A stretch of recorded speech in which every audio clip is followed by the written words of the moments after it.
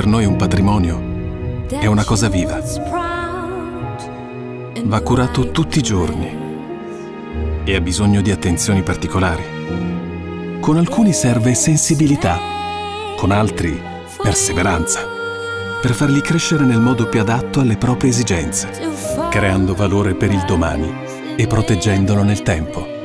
Per questo i nostri consulenti sono sempre al tuo fianco, aiutandoti a dare forma ai tuoi progetti di vita, per favorire lo sviluppo della tua azienda con un piano su misura, valorizzando il tuo patrimonio finanziario, così come quello immobiliare,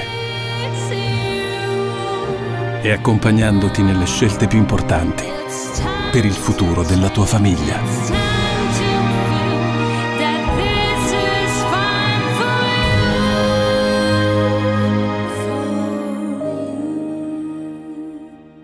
Questo programma è offerto da Schröders. Bentornati su Blu Reti News, vediamo insieme le principali notizie della giornata. La nuova lettera UE alza l'allarme debito. Manovra Confindustria attacca, non è espansiva. Il matrimonio tra Alitalia e FS è pieno di rischi. Facebook, ricavi sotto le stime ma utili in crescita. Fideuram, ISPB e Allianz Bank sbancano nel reclutamento. Torna il forum del private banking.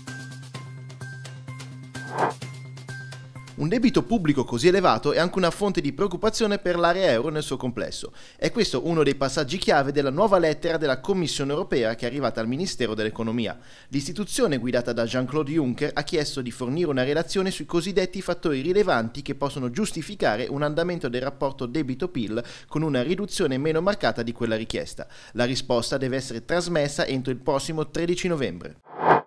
La manovra non è espansiva. È questo il monito che emerge dalle valutazioni del capo economista di Confindustria, Andrea Montanino. Per l'esperto nel 2019 il PIL crescerà ben al di sotto dell'1%, un dato molto lontano dall'1,5% previsto dal governo. È in atto un rallentamento dell'economia europea che si ripercuote sull'economia nazionale. Il tema vero, ha concluso Montanino, è cosa accadrà il prossimo anno. A nostro giudizio l'effetto trascinamento del 2019 peggiorerà e la manovra non avrà effetti espansivi rilevanti.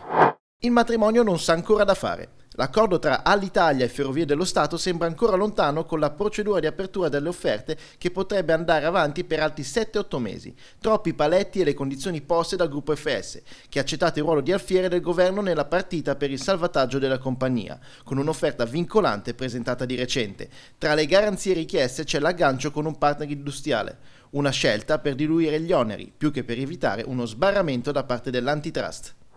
Un terzo trimestre a tinte chiaroscure per Facebook. Il social network guidato da Mark Zuckerberg ha archiviato il periodo con un'utile operazione di 1,76 dollari contro gli 1,49 dollari previsti dal mercato e rispetto a 1,59 dollari dello stesso periodo dell'anno. Tuttavia non sono stati centrati gli obiettivi sulla crescita degli utenti mensili e sui ricavi.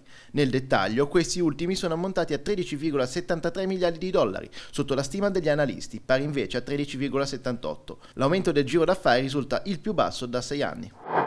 Trend virtuoso nelle politiche di reclutamento delle reti a settembre, dove 8 competitor su 12 registrano un saldo netto positivo tra entrate e uscite. Fideurami SPB è il gruppo che registra l'incremento di organico più significativo.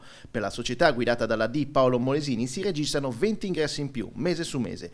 Eccellente anche il risultato di Allianz Bank, che ha aumentato la forza distributiva di 9 consulenti. Seguono Fineco con 6 professionisti e Azimut e Banca Generali a pari merito con 4 consulenti. Le maggiori uscite mensili sono invece di Deutsche Bank Financial Advisors, che evidenzia un saldo negativo di 10 unità. Si rinnova l'appuntamento con il forum del private banking promosso da APB. Milano e Palazzo Mezzanotte ospiteranno l'evento il prossimo 16 novembre. Nel corso della manifestazione, giunta alla quattordicesima edizione, saranno presentati i risultati di uno studio realizzato in collaborazione con Censis, che evidenzia il ruolo dei patrimoni delle famiglie private nello sviluppo dell'economia reale del Paese. Seguirà una tavola rotonda istituzionale che discuterà le evidenze emerse dalla ricerca sui rapporti tra patrimoni, investimenti e sviluppo economico. Seguiranno infine approfondimenti sui trend della digitalizzazione nel settore private. Il consiglio del giorno offerto da finanzaoperativa.com e Massimo Zanetti. Fair value di 10 euro per Mediobanca dopo l'apertura in mattinata a 5,68. Positiva l'acquisizione della australiana The Bean Alliance per 15 milioni di euro attraverso la quale il gruppo intende rafforzarsi in Asia. Ecco la migliore e la peggiore performance giornaliera nella categoria dei fondi comuni aperti retail disponibili in Italia, sulla base come sempre dell'ultima rilevazione disponibile del NAV. A guidare la classifica un prodotto di UBS, mentre ultima posizione per Threadneedle. Qui da Blu Reti News è tutto, ci prendiamo una piccola pausa fino a venerdì, come sempre un buon investimento a tutti voi.